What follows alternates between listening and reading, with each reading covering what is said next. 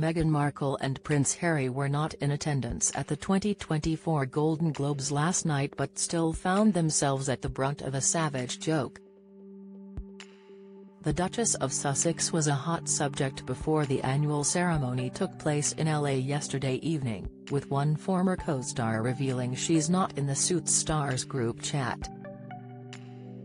The former royal couple were mocked by host Jo Koy during the comedian's opening speech which also took aim at the rich, white and dysfunctional royal family. He said, Succession has nine nominations.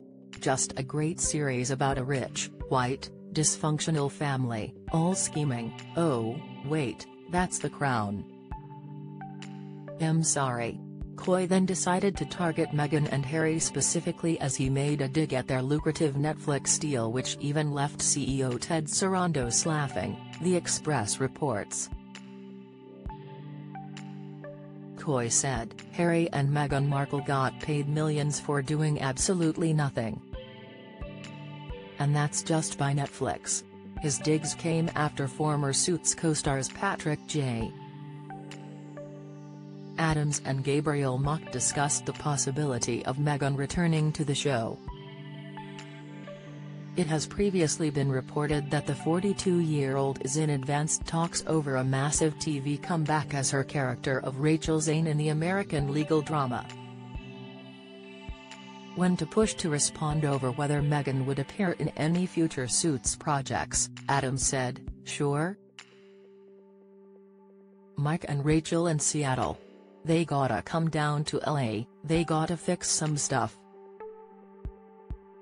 Adams added, she's pretty popular right now, to which the ET interviewer then replied, I don't know why? Adams responded, did you hear about Meghan? I'll tell you later. There's been a lot of stuff going on.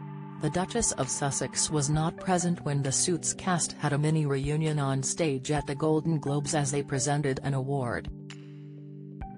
Suits star Gina Torres, who plays Jessica Pearson in the show, also revealed on the red carpet that Meghan is not involved in the insane texting group chat they have.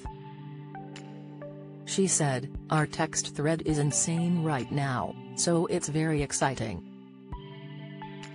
However, when asked if Meghan was also involved in their conversations, she replied, we don't have her number. We just don't.